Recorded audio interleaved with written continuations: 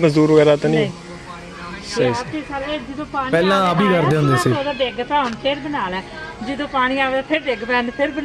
ਜਦੋਂ ਪਾਣੀ ਆਵੇ ਹਰ ਸਾਲ ਬਾਅਦ ਪਾਣੀ ਆਉਂਦਾ ਤਾਂ ਸਾਰੇ ਡਿੱਗ ਜਾਂਦੇ ਨੇ। ਤੇ ਤੁਸੀਂ ਤਿਆਰ ਕਰਦੇ ਹੋ ਖੁਦ ਹੀ। ਦੇਖੋ ਜਿਨ੍ਹਾਂ ਨੇ ਆਪਣਾ ਖਾਣਾ ਬਣਾ ਰਹੀ ਚੀਜ਼ਾਂ ਚ ਗੁਜ਼ਾਰਿਆ ਉਹ ਇਹ ਸਮਝ ਸਕਦੇ ਆ। ਮੈਂ ਗੁਜ਼ਾਰਿਆ ਮੈਂ ਸਮਝ ਸਕਦਾ। ਛੋਟਾ ਇੱਕ ਜੀਪ ਕਾਲੀ ਹੋਵੇ ਨਹੀਂ ਸਪੀਡ 40 ਬੀਟ ਇੰਟੈਂਸ ਵਾਲੀ ਫੇਰ ਕੰਮ ਸੈੱਟ ਆ।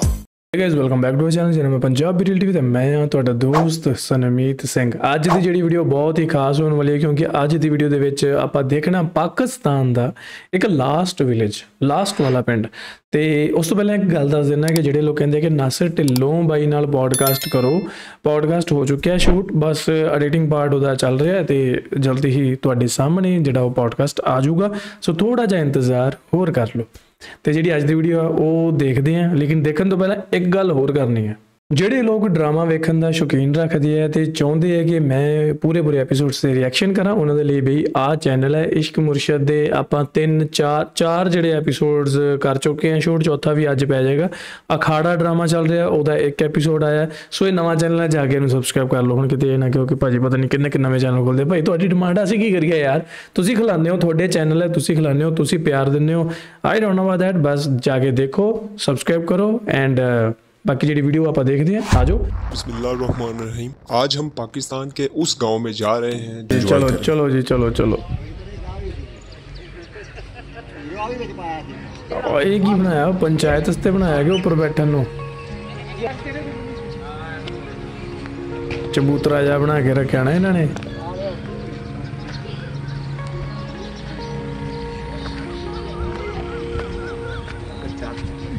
ਦੇਖੋ ਸਫਾਈ ਵਾਲਾ ਕੰਮ ਕੀਤਾ ਹੋਇਆ ਪੂਰਾ ਮਿੱਟੀ ਨਾਲ ਲਿਪ ਲਿਪ ਕੇ ਉਹਨੂੰ ਘੈਂਟ ਕੰਮ ਕੀਤਾ ਪੂਰਾ ਬਈ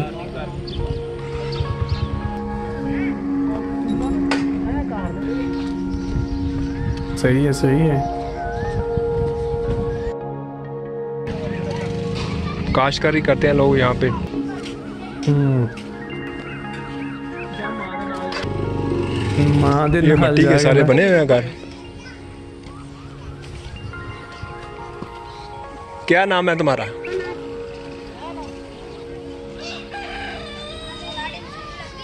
क्या बात है यार जिथे देखो ये भी एक साइड है अपने कल्चर की है। ये जी पाकिस्तान का आखिरी गाँव है पाकिस्तान का लास्ट विलेज है। ना ये देखे जी ये इंडिया है। ये जो विलेज ये दरख्त दिखाई दे रहा है ये आधा इंडिया में आधा पाकिस्तान में है।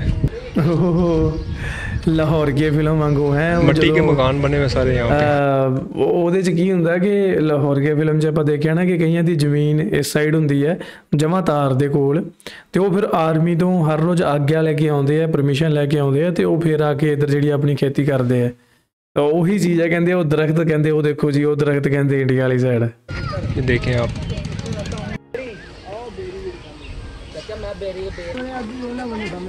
ਅੱਛਾ ਚਾਚਾ ਜੀ ਕਿਹੜੀ ਕਿਹੜੀ ਅੱਖ ਜੀ?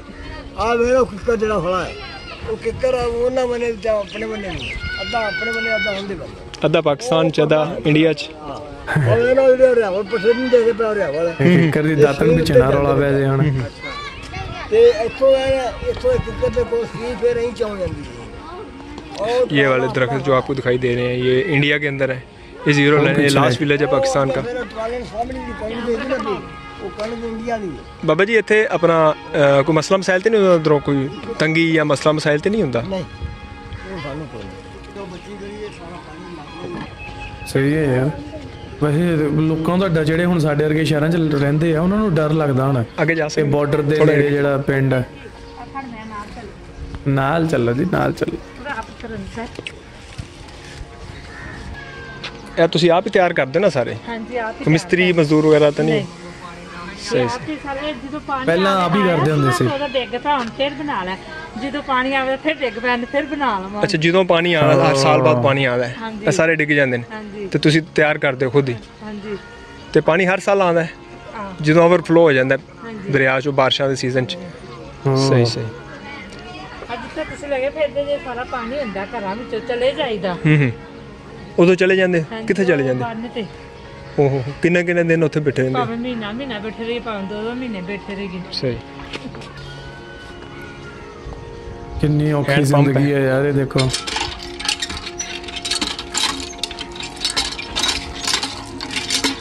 ये रूम्स हैं यहाँ पे ये आंटी जी खाना बनाती हैं छोटा सा दरख्त लगाया हुआ है इन्होंने बहुत ही सादा लाइफ है पुरस्कून लाइफ है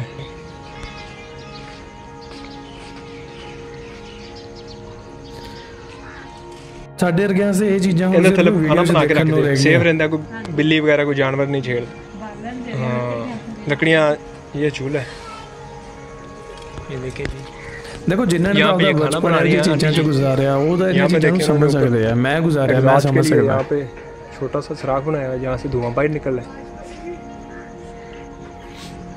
बिल्कुल छोटा सा घर है बहुत अच्छा मैनेज किया उन्होंने बहुत खूबसूरत तमाशा क्या बात क्या ये छोटी सी एक शॉप बनी हुई है शॉप में हम जा रहे हैं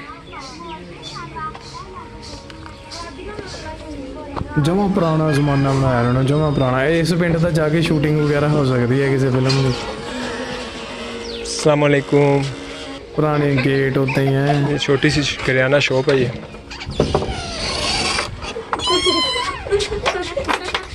ये सारी चीज़ें ਬੱਚੇ आपके पास ਹੱਸਣ हैं ਡਏ। ਨਹੀਂ ਇਹ ਕਹਿੰਦੇ ਨਹੀਂ ये लाइफ स्टाइल देखें लोगों का जी। बहुत सादा लाइफ स्टाइल है। ये देखें, मकान है ये। ये देखें लोगों का लाइफ स्टाइल देखें आप।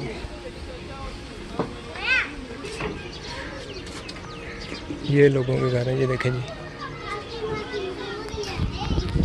ਅੱਛਾ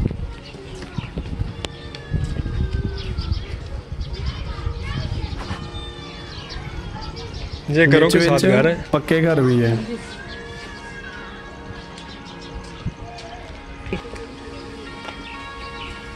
इंतहाई खूबसूरत इलाका है जी। पुरसकून और साफ़ शफाफ आबो हवा है यहाँ पे। जो बहुत ही अच्छे लोग हैं सादा सिंपल लाइफ गुजारते हैं। इन्होंने हमें परमिशन दी है वीडियो बनाने की। इनका बहुत शुक्रिया। सही है सही है। मैं मार जा रहा इंडिया इंडिया चले जाते सी ਉਦੋਂ ਮਤਲਬ ਇਹ ਹਾਲਾਤ ਅੱਛੇ ਸੀ ਹਾਂ ਉਦੋਂ ਇਹ ਬਾਹਰ ਸਿਸਟਮ ਨਹੀਂ ਹੁੰਦਾ ਨਹੀਂ ਉਹ ਜੰਗ ਲੱਗੀ ਸੀ ਨਾ ਤੇ ਆਪਣੀ ਘੁੰਮਲ ਜਿਹੜੀ ਨਾ ਬੈਠੀ ਦਰਿਆ ਦੇ ਉੱਤੇ ਬੈਠੀ ये गांव इंतहाई खूबसूरत दिलकश और सरसब्ज है यहाँ लोग बहुत सादा लाइफ गुजारते हैं पुराने मिट्टी से बने हुए घर हैं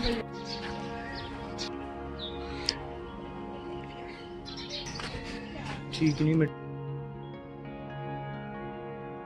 यहाँ तो अमन, सुकून और खुशहाली का तमाम क्रेडिट पाक आर्मी को जाता है, जिनकी कुर्बानियों की बदौलत यहाँ पे अमन कायम है। बहुत सी जगहों की वीडियो और तस्वीर बनाना ममनू था, जिसकी वजह से हमने उनकी वीडियो और तस्वीर नहीं बनाई। सारा पेंडी कच्चा है, क्या बात है।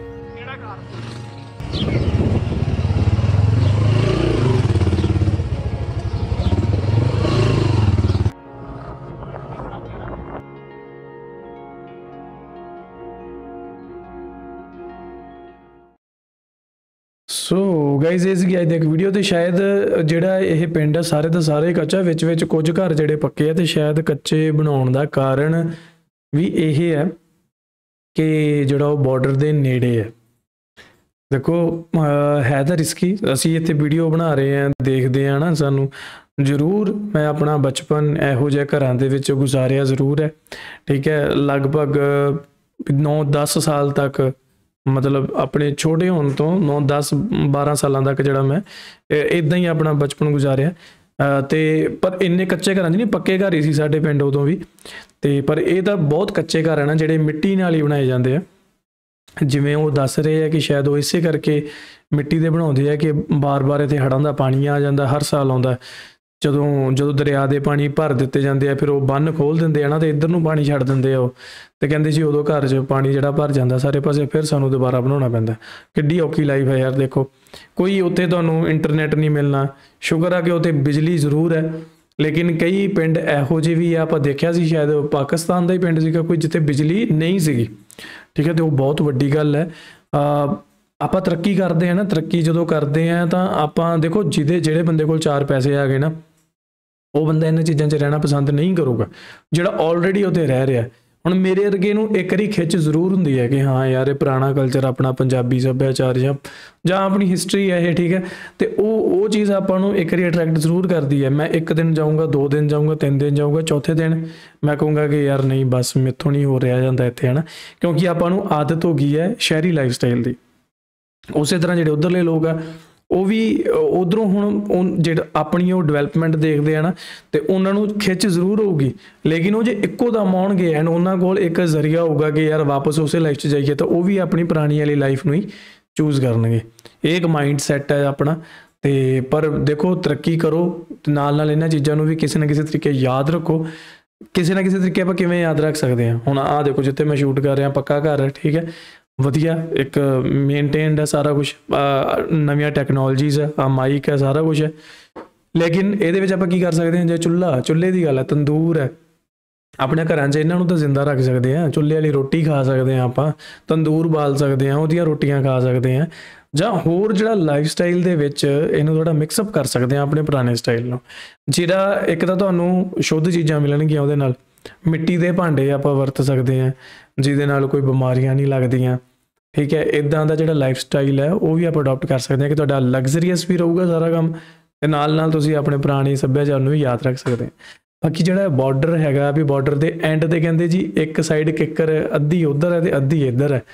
ਦੇਖੋ, ਇਹ ਹੁਣ ਆਪਾਂ ਨੂੰ ਤਾਂ ਇੱਥੇ ਪਤਾ ਲੱਗਦਾ, ਦੇਖਦੇ ਆ ਆਪਾਂ ਖੁਸ਼ ਹੁੰਨੇ ਆ ਵਾਹ ਜੀ ਵਾਹ ਕਰਦੇ ਆ ਪਰ ਉੱਥੇ ਜਿਹੜੇ ਲੋਕ ਰਹਿੰਦੇ ਆ ਕੱਲ ਦਾ ਕੀ ਪਤਾ ਹੁੰਦਾ ਯਾਰ, ਕਿਹੜੇ ਵੇਲੇ ਕੀ ਹੋ ਜੇ ਹਨਾ? ਕੁਝ ਪਤਾ ਨਹੀਂ ਲੱਗਦਾ। ਤੇ ਇਹੋ ਜਿਹੇ ਹਾਲਾਤ ਦੁਨੀਆ ਵਿੱਚ ਬਣੇ ਪਏ ਆ ਤੁਹਾਡੇ ਪਾਕਿਸਤਾਨ ਦੇ ਵਿੱਚ ਵੀ ਈਰਾਨ ਨੇ ਜਿਹੜਾ ਅਟੈਕ ਕੀਤਾ ਹੈ, ਤੇ ਕੱਲ ਦੀ ਗੱਲ ਹੈ ਸ਼ਾਇਦ। ਤੇ ਉਸ ਤੋਂ ਬਾਅਦ ਪਾਕਿਸਤਾਨ ਨੇ ਵੀ ਜੋ ਰਿਟੈਲੀਏਟ ਕੀਤਾ ਹੈ, ਤੇ ਉਹਨਾਂ ਨੇ ਵੀ ਮੁੜ ਵਾਰ ਕੀਤੇ ਆ ਈਰਾਨ ਦਾ ਕਹਿਣਾ ਕਿ ਪਾਕਿਸਤਾਨ ਦੇ ਵਿੱਚ ਟੈਰਰਿਸਟ ਐਕਟੀਵਿਟੀਜ਼ ਹੋ ਰਹੀਆਂ ਸੀ ਤੇ ਉਹਨਾਂ ਨੇ ਉਹ ਟੈਰਰਿਸਟ ਤੇ ਅਟੈਕ ਕੀਤੇ ਆ ਤੇ ਪਾਕਿਸਤਾਨ ਦਾ ਕਹਿਣਾ ਕਿ ਇਦਾਂ ਦਾ ਕੁਝ ਨਹੀਂਗਾ ਤੇ ਉਹਨਾਂ ਨੇ ਜਿਹੜੇ ਸਿਵਲੀਅਨਸ ਤੇ ਅਟੈਕ ਕੀਤੇ ਆ।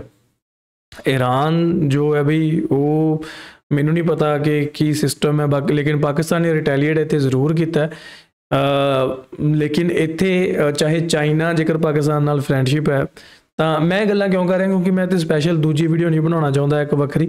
ਮੈਂ ਇਸੇ ਕਰਕੇ ਇਸ ਵੀਡੀਓ 'ਚ ਹੀ ਗੱਲ ਕਰ ਰਿਹਾ, ਕਿ ਜੋ ਚਾਈਨਾ ਹੈ, ਉਹ ਉਹ ਵੀ ਇਹੀ ਕਹਿ ਰਿਹਾ ਸੀਗਾ ਯੂਐਸਏ ਵੀ ਇਹੀ ਕਹਿ ਰਿਹਾ ਕਿ ਇਸ ਚੀਜ਼ ਨੂੰ ਗੱਲੀ ਬਾਤੀ ਜਿਹੜਾ ਸੌਰਟ ਆਊਟ ਕਰ ਲੈਣਾ ਚਾਹੀਦਾ ਹੈ, ਕਿਉਂਕਿ ਅੱਗੇ ਜਿਹੜਾ ਵਾਰ ਹੈ, ਬੜੇ ਥਾਵਾਂ ਤੇ ਆਪਾਂ ਭੁਗਤ ਚੁੱਕੇ ਹਾਂ, ਭੁਗਤ ਰਹੇ ਹਾਂ, ਤੇ ਉਹਦਾ ਜਿਹੜਾ ਨੁਕਸਾਨ ਪੂਰੀ ਦੁਨੀਆ ਨੂੰ ਝੇਲਣਾ ਪੈਂਦਾ ਈਰਾਨ ਵੀ ਨਿਊਕਲੀਅਰ ਪਾਵਰ ਹੈ, ਪਾਕਿਸਤਾਨ ਵੀ ਨਿਊਕਲੀਅਰ ਪਾਵਰ ਹੈ ਸੋ ਆਈ ਥਿੰਕ ਜਿਹੜਾ ਟੇਬਲ ਟਾਕ ਕਰਕੇ ਗੱਲਾਂ ਬਾਤਾਂ ਦਾ ਹੱਲ ਨਿਕਲਣਾ ਚਾਹੀਦਾ ਈਰਾਨ ਨੇ ਈਰਾਨ ਕਿਤੇ ਹਮਾਸ ਨੂੰ ਵੀ ਸਪੋਰਟ ਕਰ ਰਿਹਾ ਪੈਲੇਸਟੀਨਸ ਨੂੰ, ਠੀਕ ਹੈ, ਤੇ ਲੇਕਿਨ ਕਈ ਥਾਵਾਂ ਤੇ ਜਿਹੜਾ ਕੰਮ ਉਲਟਾ ਹੋਇਆ ਪਿਆ।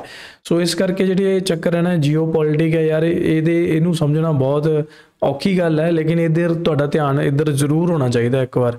ਇਸ ਵੀਡੀਓ ਦੇ ਵਿੱਚ ਮੈਂ ਤੁਹਾਨੂੰ ਥੋੜਾ ਜਿਹਾ ਇਹ ਜਿਹੜਾ ਸਾਰ ਅੰਸ਼ ਦਾ ਦੱਸਿਆ ਜੇਕਰ ਕਹੋਗੇ ਤਾਂ ਆਪਾਂ ਇੱਕ ਪੂਰੀ ਵੀਡੀਓ ਵੀ ਫਿਰ ਇਹਦੀ ਬਣਾ ਸਕਦੇ ਹਾਂ। ਬਾਕੀ ਜਿਹੜੀ ਅੱਜ ਦੀ ਵੀਡੀਓ ਸੀ, ਬਹੁਤ ਘੈਂਟ ਸੀ। ਤੁਹਾਨੂੰ ਕਿਦਾਂ ਲੱਗੀ ਥੱਲੇ ਕਮੈਂਟ ਕਰਕੇ ਦੱਸਿਓ। ਜਾਂ ਤਾਂ ਪਹਿਲਾਂ ਚੈਨਲ ਸਬਸਕ੍ਰਾਈਬ ਕਰਿਓ। ਮਿਲਦੇ ਹਾਂ ਅਗਲੀ ਵੀਡੀਓ 'ਚ। ਸਤਿ ਸ਼੍ਰੀ ਅਕਾਲ।